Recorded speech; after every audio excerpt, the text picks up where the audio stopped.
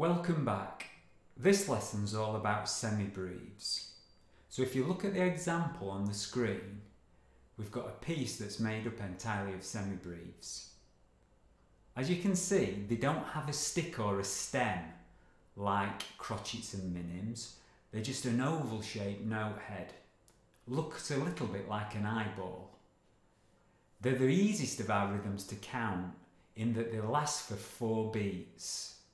So in our groups of four that we've been counting, we're only ever going to play on number one.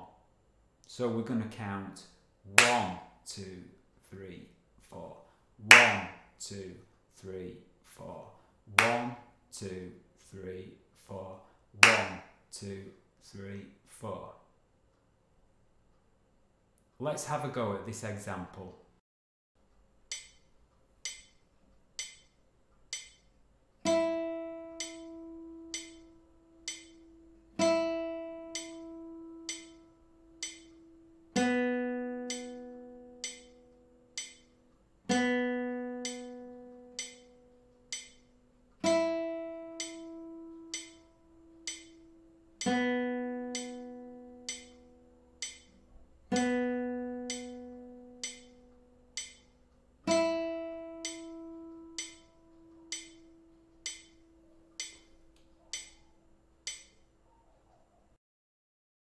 The exercises on page 11 are rhythms that are made from all three note types that we've looked at crotchets, minims, and semibreves.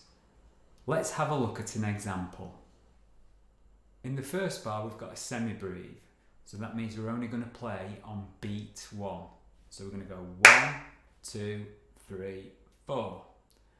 Bar two, we've got two minims, so we're playing on beats one and three. One, two, three, four. In the third bar, we start with two crotchets on beats one and two, then a minim on beat three. So we're not going to play on beat four. So one, two, three, four. And then finally, on the top line, we've got two minims again. So we're only going to play on beats one and three. One, two, three, four. This exercise uses three strings, the E, the B and the G. Let's go through it together, then you can try all the exercises on page 11 on your own.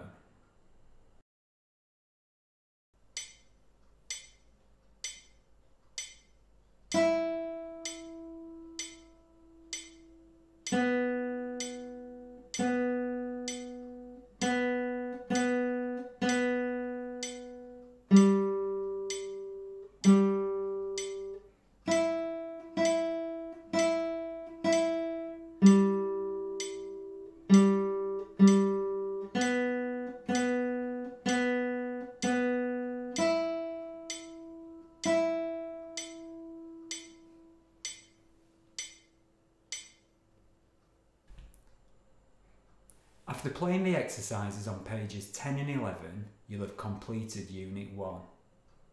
In this we've covered holding the guitar, playing rest and free strokes, and we've covered rhythms including crotchets, minims and semibreves.